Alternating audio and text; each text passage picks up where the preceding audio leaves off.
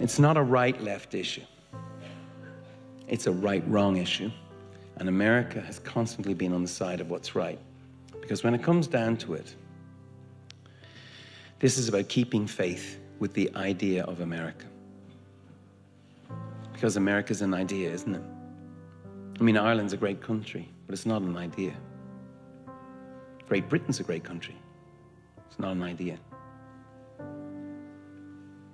That's how we see you around the world as one of the greatest ideas in human history, right up there with the Renaissance, right up there with crop rotation on the Beatles' White Album. you and me are created equal. That if we have dignity, if we have justice, then leave it to us, we'll do the rest. This country was the first to claw its way out of darkness and put that on paper.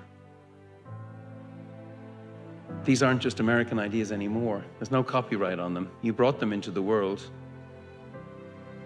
These truths, your truths, they're self evident in us.